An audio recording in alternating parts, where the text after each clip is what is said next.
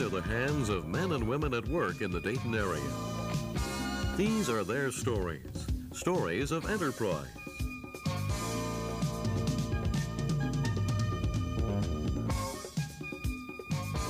Enterprise, brought to you by Siebenthalers, serving the community for 117 years and still growing. And now here is your host on Enterprise, Mr. Glenn Walters. Thank you for inviting us into your home with our stories of enterprise. Well, it's been said that we live in the age of information. But if you're anything like I am, then sometimes having too much information available is as bad as not having enough. Imagine, for example, walking into a public library, knowing what sort of information you want, but not where to find it, and having the book that holds it open to the page you need lying on the table in front of you. In 1967, a Dayton company recognized that problem and began to build a new technology to solve it.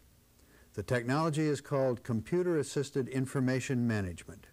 The company that pioneered the technology is Mead Data Central, a subsidiary of Mead Corporation. They built a computer system with the ability not only to store massive amounts of information, but to search through it and retrieve on command only the pieces that are requested. And with us as a guest in our studio today is the president of Mead Data Central, Mr. Jack Simpson. Jack, it's nice to have you with us. Thank you very much. I'm glad to be here. Good. Um, well, we told a little bit about this venture that started roughly 20 years ago. How in particular did it get started? Well, it was an acquisition that was accomplished by Jim McSweeney, who was the chairman of Mead. In 1969, they purchased an outfit called Data Corporation, which had some inkjet technology as well as some data retrieval technology. Lexis, which is the major product we have today, was really begun in 1973, became profitable in 77, and we've added on products since then certainly really still a young company. Very much so. Uh, from that first uh, handful of employees, I'm sure in those days, uh, how many employees do you have now? We have about 1,800 employees. There's about 1,300 of those in Dayton, Ohio, and 500 across the U.S., a few in Toronto, a few in London. Uh, and of course, again, as a new business, uh, 20 years or so ago, uh, probably just a handful of customers. What has that grown into now? Well, the customer set is the amazing thing. Uh, we have trained about 300,000 users on how to use information. Each year we have about 200,000 of those people that actively do a project. We have uh, 10,000 of those every month. And uh, it's just amazing at uh, the number and types of activities that they can get answers to in our system today. That's a, that's a good point. Besides uh, attorneys, and doctors and research scientists. What other kinds of uh, users might you have? Well, there's lots of government officials, uh, a lot of folks in the media, large corporations, uh, public relations operations, uh, financial institutions, banks. Anybody that needs information in their business is a potential customer for us. Uh, how does the customer go about actually accessing your system? Well, typically they would access it through a personal computer or a terminal or one of our own terminals. And they essentially sign on and in plain English ask questions and we pull out the needles in the haystack for them out of our mega library and give them an answer on their own uh, screen or even print it out on their own printer. Hmm. I have another question, but I want to share something with our viewers for a moment. Just a couple of months ago, uh, Jack had what I would certainly term an unnerving experience. One day, a couple of uh, people came into his office as representatives of the Department of Defense and asked or tried to require that he give them the names of all of his customers. What was that all about? Well, over the last year, we had the FBI, the CIA, and the folks you mentioned. Uh, it started with a directive signed by President Reagan in 1984, which uh, gave some very broad powers of protecting information to the Department of Defense and the uh, uh intelligence community. What they were really looking for were if we had any Soviet customers, uh, uh, unfriendly countries that might be accessing information, they wanted to know the kinds of things that they were searching for in order to understand if we were really losing information that way.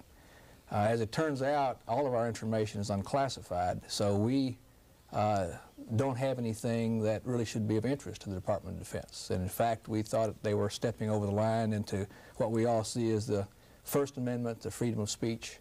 So we refused to give them any information while still supporting their basic ideal because we care about national security. Uh, since that time, um, the directive has been uh, rescinded. Part of it has been rescinded. Uh, Jack Brooks, uh, the Democratic uh, congressman from Texas, is leading a charge to really debate this tough issue, and uh, we're obviously going to do whatever comes out of that, but we feel much better now realizing that we're looking at both sides of this tough question. So you do see some hope for a reasonable resolution? We think so. There's been some retrenchment. Uh, unfortunately, as you've watched the news, uh, and this will continue for some time, we've had a number of issues with information leaks uh, through contractors, through our embassies, and we really believe that's where they'll put their emphasis for the near term. Good. Moving to more pleasant subject. Yes. you certainly have a beautiful facility already down there on uh, Springboro Pike. Uh, obviously, it is still under construction. How large is it going to be when it's all finished? When our fourth building is completed, we will have uh, 450,000 feet, uh, square feet of uh, space on about 75 acres. And uh, one of the buildings there has about one and a quarter acres of computers and disk drives and that kind of thing, which is really amazing. Mm. This is certainly uh, a deep commitment uh, to uh, the Dayton area community. Uh, you obviously feel satisfied doing business here in Dayton. We enjoy it for several reasons. The work ethic here is very strong. The telecommunications facilities offered by Ohio Bell are, are uh, also very powerful. Uh, we've been able to recruit a lot of folks from around the U.S., particularly from the Midwest, uh, into this area.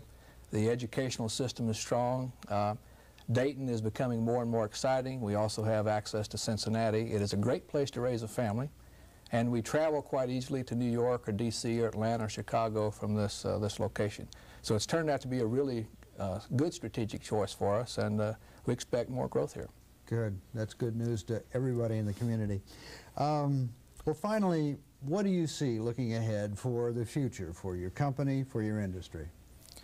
Well, the, uh, the industry, while we've talked about it uh, being uh, 18 or 20 years old, uh, it's just really beginning to take off because the information explosion is continuing.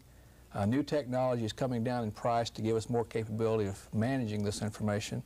The international markets are starting to open up. We are getting more experience about the products that people like and how to deliver those in better and better ways. So for us, uh, for Mead Data Central, we see a strong future and we see this industry continuing to grow. And our desire is to be in the middle of this uh, great business, to be one of the leaders where we are today, and to uh, help Dayton grow as uh, perhaps the center of electronic information. Good. Thank you very much for being our guest and uh, helping us and tell this story of new technologies and new things coming down the road here in Dayton. Thank you for letting me be here today and sharing this with you. We'll be back in a moment. Siebenthalers, your source for a complete range of landscaping needs. We have the experience, the design capability, and 500 acres of nursery stock to accommodate the most discriminating needs. From the smallest residential to the largest commercial design, call Siebenthalers, serving the community for 117 years and still growing. What do you look for in your business graphics? Versatility? At the Graphics Terminal, we've got it. Color? We have an unlimited palette and color on top of color at no extra charge. Quality? The Graphics Terminal delivers 4,000 line resolution. Updates or changes? Your new slide is just keystrokes away. Ability to meet deadlines? We offer one day service. We're the Graphics Terminal, the answer to your graphics needs. Last month on Enterprise, we brought you the story of unmanned vehicle systems as they are used generally throughout American business and government.